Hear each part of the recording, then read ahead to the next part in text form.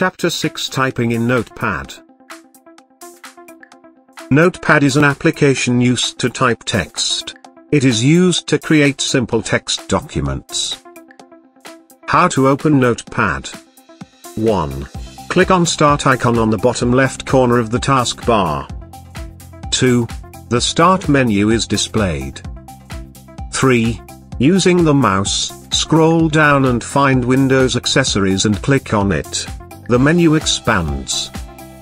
4. Click on Notepad. 5. The Notepad window opens. Now, you can start typing. How to type in Notepad. In the Notepad window, observe the white blank area, it is called the working area. You will see a straight blinking line in the working area which is called the cursor. Now, using the keyboard, you can start typing. Remember, to move the cursor to the next line, press the Enter key on the keyboard. Word Wrap in Notepad. In Notepad, Word Wrap fits the text within the window, so it doesn't scroll across the entire screen. 1. Click on Format on the menu bar. 2. Select Word Wrap and now you will observe the horizontal scroll bar on the window disappears. Also, a tick mark, black tick mark, will appear beside Word Wrap in the Format menu.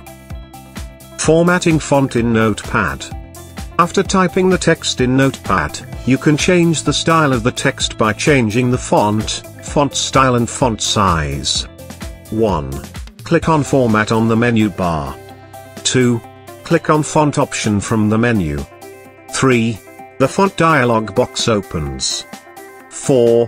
Now, you can select the font and the font style from the list as you wish. 5. Select the font size for the text.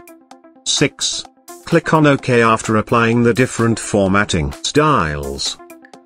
To insert date and time in Notepad, Click on Edit on the menu bar and click on Time or Date. Saving in Notepad. 1. Click on File on the menu bar. 2. Click on Save As. 3. The Save As dialog box will open. 4. Type a name in the file name box and click Save. 5. Now, your work is saved on the computer. Close Notepad, 1. Click on File at the top of the Notepad window. 2. Click on Exit. Or click on the Close button on the title bar.